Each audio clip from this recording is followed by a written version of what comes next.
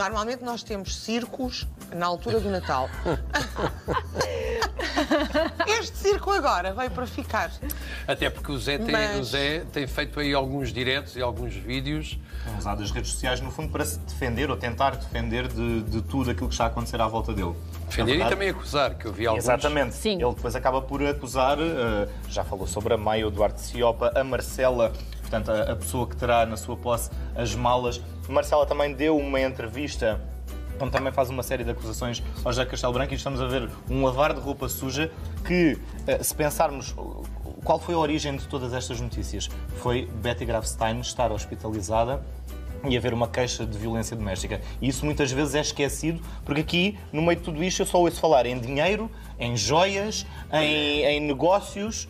E a saúde de uma senhora de 95 anos que continua no hospital, muitas vezes nem se fala. Mas José Castelo Branco já, já nos mostrou várias vezes tem uma, uma alegada falta de empatia muito grande em relação à sua mulher Betty Grafstein.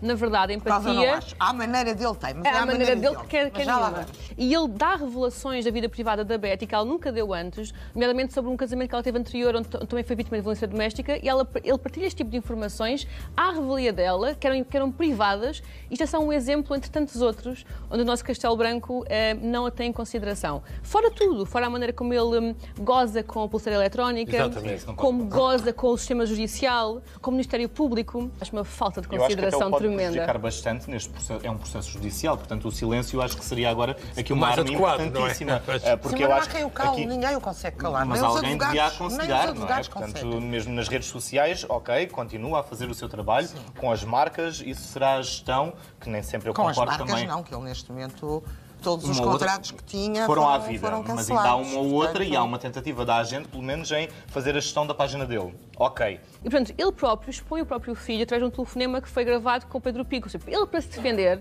expõe a Betty, expõe o filho e expõe toda a gente que lhe apetecer expor. Mas expor Ele- uma, uma, uma, uma chamada privada não é, não é, Não, é sequer legal. legal. Eu vi o vosso. Eu, eu vi Mas é aqui que, a casa. é que já ontem a Marcela sequer também legal. apresenta uma gravação de uma chamada que fez com o José Castelo Branco. Mas está tudo bem, está tudo, está tudo louco. Pois é isso que eu não De repente é desata-se a gravar aqui. tudo. É que isto parece mesmo um reality As show. pessoas têm interesses 24 pessoais, as pessoas querem, querem manifestar interesses pessoais. Interesses pessoais, querem fama e querem dinheiro. e Isto é uma não pouca vergonha. de repente Mas toda é a uma gente ficou do lado do Roger. Porquê? Se calhar porque Ninguém estão a sentir que há uma injustiça da, da parte Mas é em relação à Ninguém Betty. sabe.